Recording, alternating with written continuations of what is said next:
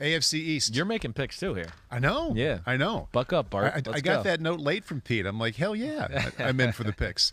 We begin with the Buffalo Bills, 11. Now, Mm. last season they were 13 and three. Over under on wins for the Bills is 11. What do you got? Like, I don't think they're going to be 14 and three, or 15 and two, or 13 and four. Nice job with the 17. Thank total, you. I'm getting way. there. Yeah. Now I was I was like that's another like Buffalo. I wasn't sure how they were going to play this year. I thought maybe they might try to be a little bit more balanced and all those type of things. What we saw the other day is what they're going to do. Mm-hmm. It's going to be Josh Allen in the shotgun. We're not taking the ball out of his hands. Deal with it. Yeah. And he was amazing. I mean, Mah- I mean, Allen has reached Mahomes and Rodgers status in my opinion. That where- touchdown pass, you threw right. like 40 You're yards just kind of like, air. I mean, uh, if your defense isn't great, Yeah. he's going to beat you. Right. He's he's kind of that good. yeah. Um, I kind of Want me to start? I, I want to pick the push right off the bat. Is that an option? Do, do we have a limited number of pushes, Pete, we can pick? He's not going to like that. Yeah, I think that's a no. I'll take that as a no. Fair question. It's I'll a- go a with the question. over. I'm going to go with the over. Yeah, Okay. yeah. I'm but like I'm saying 12 and 5 over. Okay. All right. And for all those out there, yeah, I wouldn't be shocked if it's 11 and 6. First off, it's the AFC East. They're playing the NFC South and the AFC South. Right? I mean, we know the NFC South. I think that'll be a pain in the butt.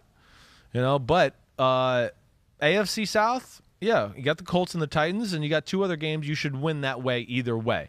But, you know, again, still, I'd like to see a little more from their defense.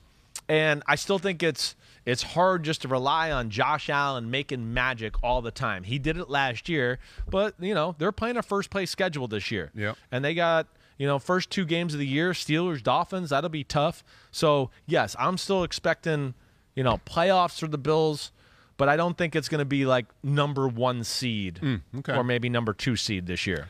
To me, this was, as I looked through all of these, making a call on the Bills with the over under 11 was as easy as a call there was on there.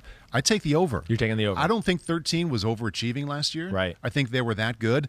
They could be a little bit worse than that and, and hit 12, go Yeah, 12 and 5. right. So I didn't spend too much time thinking about this one. I, I think it's uh, I think it's not only 11. I would put him back at 13 again this year. I, I hear. I guess here, I- you know, I said the, you know, the NFC South, and of course the, the, other, the AFC East is good. I mean, the Dolphins is, are gonna, the yeah. Dolphins and Patriots. I think will both be, you know, Dolphins will be just as good as last year, if not better. I think the Patriots will be better. Yeah. So I guess that's where, again, I, like I said, I was on that 11, 12 right there. I don't think it's going to be 15 and 2 or 14 and 3. I think you do have a few extra losses this year, but okay, we're going both going over. You're going over easy. I'm Pretty going easily, over barely. slash I want to maybe say the push, but I don't want to be called a chicken. right out of the gate, we have a couple of overs, and uh, my feeling is we're going to have two more here coming up. Uh, Miami, nine and a half. The li- little hook there to make you think a little more. Nine and a half. They were ten and six last year. You going over or under for the Dolphins? I'm going to go over here too. I am. Now, I don't think it's going to be a far over. I'm not going to I'm not going to say that either yet, quite yet. You know, again, they're going to they're, they're going to be a little bit more of a marked man this year. You don't have Fitzpatrick to come in and save the day. Tua, I would think, is going to hit a few bumps here and there. Not to, I, it's been great so far. I'm not trying to say anything like that, but they're not going to catch people by surprise this year. As I mm. guess is what I'm saying altogether. So I'm expecting like that, maybe a 10 and seven yeah. maybe 11 and 6 type year. But again, yeah, I mean they were 1 and 1 against the Pat the Pats last year like yeah, I mean the Pats are, you know, again, they're going to be good. It's a tough schedule to start the year too with the Patriots, Bills, Raiders and Colts and then the Bucs in week 5. You know, that's where I get a little scared that they might get off to a bumpy start and then really have to fight their way back into the conversation here a little bit. But Right. I'm going to go over by just barely here. I've got over by just a little Yeah. bit too. And my thinking there is um, the number one, just like you just said, Tua is going to have some bumps. I don't Yeah. think either one of us are wholly sold, although he's been much better. Definitely. So that there's reason to believe he'll be better. I think the offense around him will be better this Agree, year. right. And the defense should be really, really damn good. Should be really really damn good. So, I mean, 10, 10 wins is pretty easy for me to picture there Yep. in Miami. Yeah. Okay, Patriots, nine and a half. This is another one that I know. I, thought was pretty. Um, my- feeling right away was one of heck. Yeah. I'm, I'm with you. Was I'm the going over. too. I'm going over too.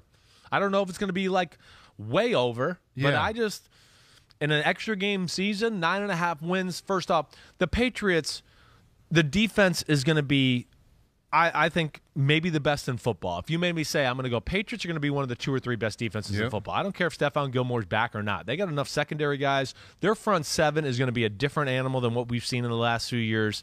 So there's that aspect of it. And then you know, hey, it's the quarterback conversation is again maybe what we're talking about here and everything like that. But yes, I just think the football team as a whole is too damn good. Yeah. And I got too much faith in Bill and Yep. Josh and Yeah. you know Jerod Mayo at, and and Stephen Belichick on the defensive side and all those type of things. That yes, I'm I'm going with the over here, and I Yeah. I, I I'm think New England will probably get in the playoffs. I- I'm going over with all caps here. I'm not Yeah. a betting man. If I was, this is the one of the 16 teams. This is the one I like the best. The best, yeah. I mean, I can easily see the Patriots winning 11, 12 games. Definitely. I could too. I could. It- it- it's really just about can Cam get in a groove or whoever the quarterback get a groove Yeah. to where I go, okay, if they don't get in a groove, it's going to be nine or 10 wins. Yeah, If they get in a right. groove, it could be 12 or 13 wins. He can't be as bad as he was last year. No, he and cannot. if he is in September, they're going to go with Mac See. Jones. He'll be gone. Right? Yes. No doubt about it. Yes. One left in the AFC East. Yeah. Jets at six. They were only two and fourteen. Somebody was year. smoking crack on this, This is line. a nice jump up for them to expect six. No. What do you say? Yeah, under all the way. Double nose here, two unders. Yeah. I mean, just just first off, the Jets. Start, I love Zach Wilson, but this is again, you know, it's a team sport. I just want to let everybody know it's not just one guy winning the damn game all the time. You know, they have a ton of injuries. They're they're trying to infuse a new culture, but I mean, nobody's been bitten by the injury bug more than the Jets through training camp. Shaq Lawson gone, Jarrad Davis gone. We got some questions in the secondary. Okay, Sheldon Rankins, who's coming off an injury, he's been a little bit banged up. Mekhi Becton, he's been dealing with injuries. Alijah Vera Tucker hasn't done much. He's has an injury. You know, then you got a rookie quarterback and a whole new thing like that, and you're in the the AFC East.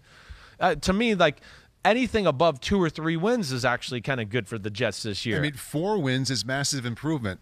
I know it's Who double. came up with six? I don't know. And then, you know, and again, when you, uh, you know, again, I'm huge on early season schedules. Yeah. But Panthers, Patriots, Broncos, Titans, the first four games of the year. The Jets are not as good as any of those four teams. They're not. Maybe they could steal a game. I don't know. But I'm just telling you, I think from what I've seen, especially from Carolina and all that, yes, I don't think they're as good as any of those teams. Then they get the Falcons in the bye, and then they got Patriots, okay, and then they got Bengals, but then they go Colts, Bills, Dolphins. You know, I, I mean, I just think it's too tough of a road for a young football team early on to mm-hmm. where, man, they they through five weeks, if they can be two and three, that'll be a That'd be huge. Yeah. positive. Yeah. I'm expecting probably to be one and four realistically. Yeah. Yeah. So, So, j- just to make it clear, Yeah. you still feel good about Zach Wilson. definitely. Think the team's moving in the right direction. Yep. But going from two wins to six is just it's a, it's a little rich. It's a little rich, and then with the injuries and all of that too, and the state of their division, it's just tough. That's Yeah. right. And you know, the NFL's doing them no favors either. You know, you just you, yeah, for a team like this, they need a few early season wins to build a little confidence and okay, we can do this. Like, not only the players, the coaches, all that type of stuff. But don't get it up here. Zach Wilson's been the best quarterback in the preseason of the rookies, and he's been a baller. And I'm expecting good things, and I don't think they'll put too much on his shoulders either. They're going to play this the right way. And I do one thing they've been is very patient with the run. Salah, Mike LaFleur, they're going to run the ball and not Joe Burrow, Zach Wilson, as I've said about Trevor Lawrence, but I don't want him to get Joe Burrowed either. Hi, I'm Mike Tirico, and thanks for watching. Make sure to hit subscribe for the latest news and highlights from NBC Sports.